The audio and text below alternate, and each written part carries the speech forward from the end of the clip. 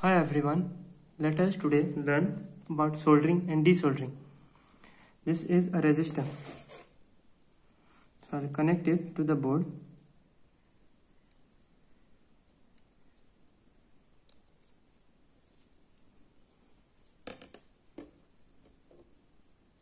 This is solder. Nicely hit the hit the tip first and then solder it let it nicely melt.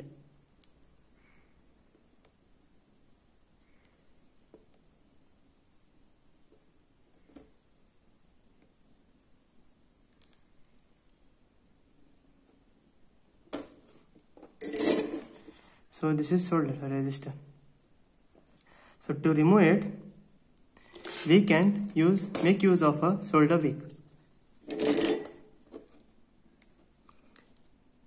Take the tip of the solder wick and nicely hit it.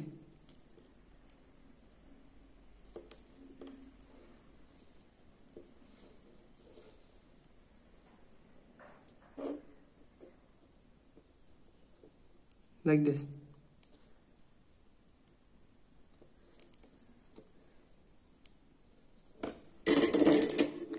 And with the help of the tweezers, try to remove the resistor still not coming out. Little hit it. Pull it with the tweezers. Because the resistor will be hot.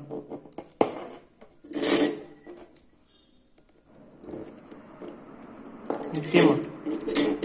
So this is the basic thing how to solder and desolder a component